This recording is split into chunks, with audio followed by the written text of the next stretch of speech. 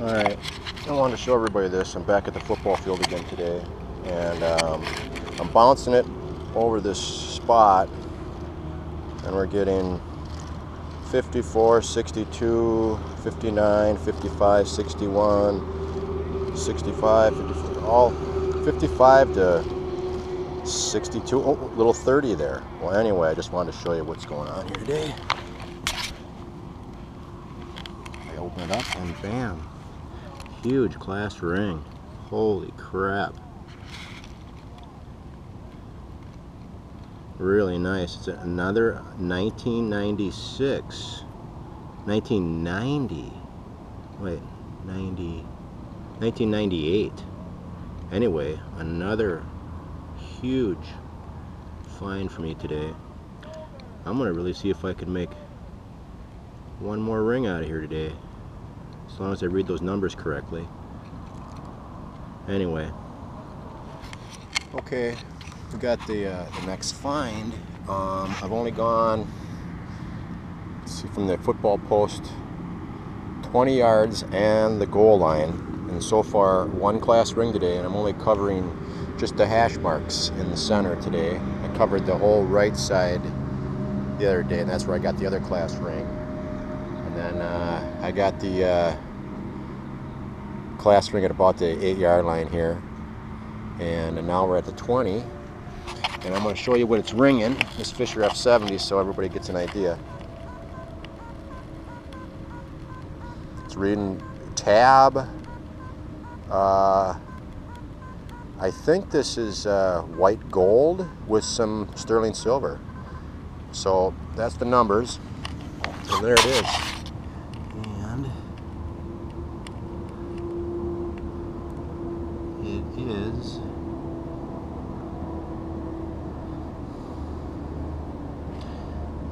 925 from Italy. This clasp says 925 from Italy, but it's kind of ringing up like the gold ring did. So I'm wondering if this is a white gold, or maybe it's just sterling silver, but again, another nice find today.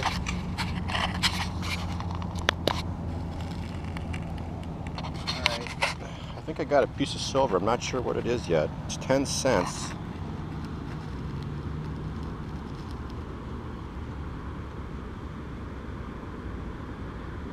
It's a weird bouncing number, of course, but see maybe there's something else in there, but I'm not sure what this is.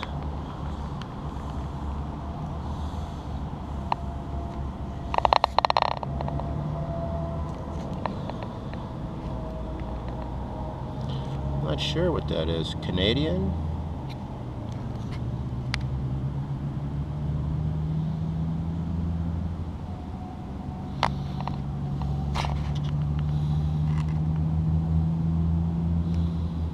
I think it's just a Canadian dime.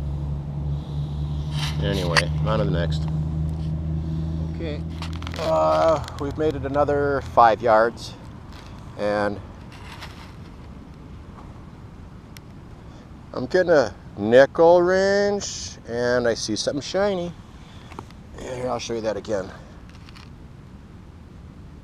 See how back, come back one way, and I get that 30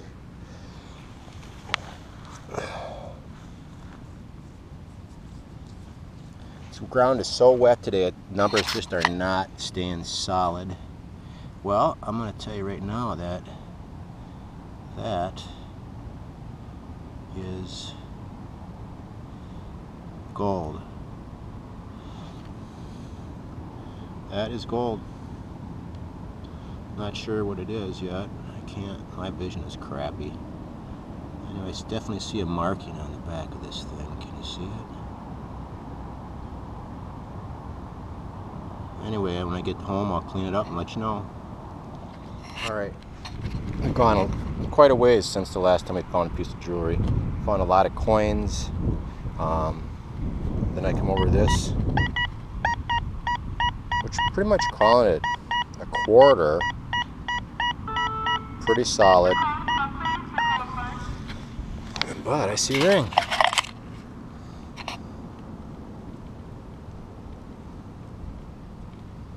Nice ring.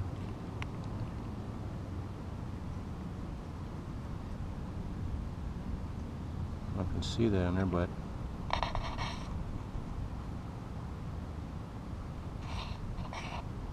nine two five. Really nice ring. Anyway, still got 20 yards to go plus the touchdown area. Just doing the center today. Tomorrow I'll come into the left hash area. Um, what a good day though. Definitely the best place to be digging in the football field is in between the hash marks at this point. Alright, uh, got about five yards left and I hit this item here. Actually, I'm going to have to move that.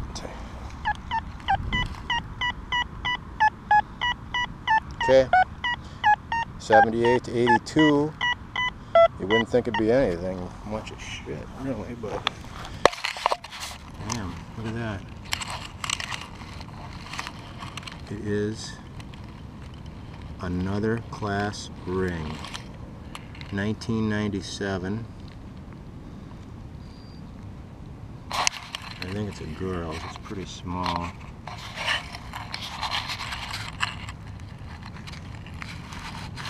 Yeah, it's a girl's. Her name is Shar. Anyway, I uh, another class ring. I don't believe it's from this school though.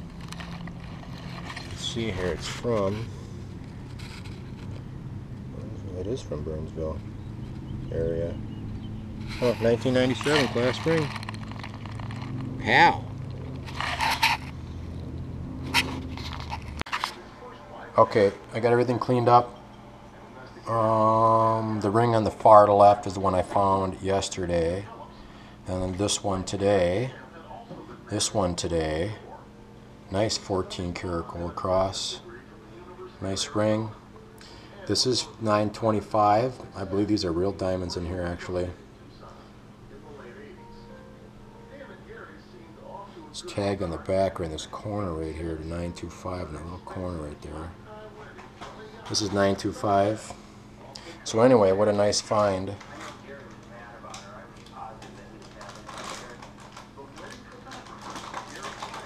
Every one of these have initials in, or names in them. This one I've contacted somebody on Facebook to see if this is their ring. Haven't tried these two yet, but it is what it is but I'm expecting by the time I finish the two fields that I should have six rings. Um, if not, maybe more.